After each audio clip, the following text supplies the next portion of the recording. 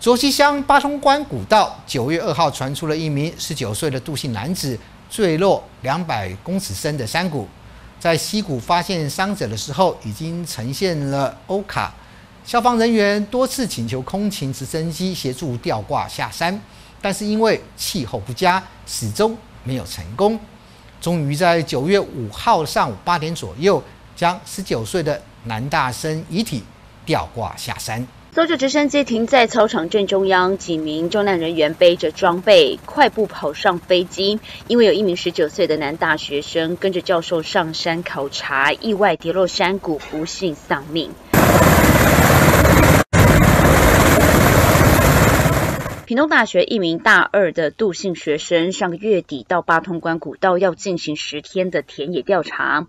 九月二号时，他不小心失足坠谷身亡。消防队员获报，赶紧上山搜救，却降到溪底，游过深潭，把杜姓学生的遗体移动到吊挂点。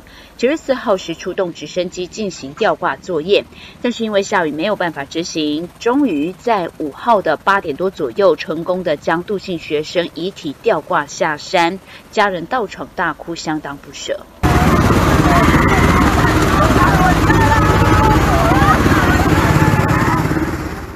啊，预计七点了哈，申请直升机，那直升机顺利于动拐四两，哦，载运患者下山。那目前叫家属处理。哦，那至于山上的同团六人，哦，那目前自龅牙山屋离开，那后续会步行下山。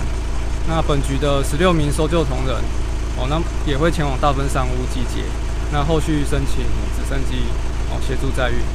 八通关古道近来山难意外频传，七月至今累计第六起。七月四号，五十七岁女山友坠谷受伤；二十号，七十七岁男山友高山症发作；二十五号，六十岁女山友坠谷头部撕裂伤。八月十三号，四十多岁李姓山友在多美丽住宅所附近摔落百米边坡。